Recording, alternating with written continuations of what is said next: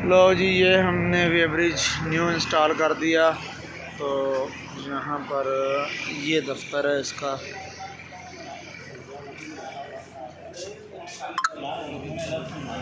ये आया हुआ है। ये वज़न हो चुका है। और ये प्रिंट निकल चुका है।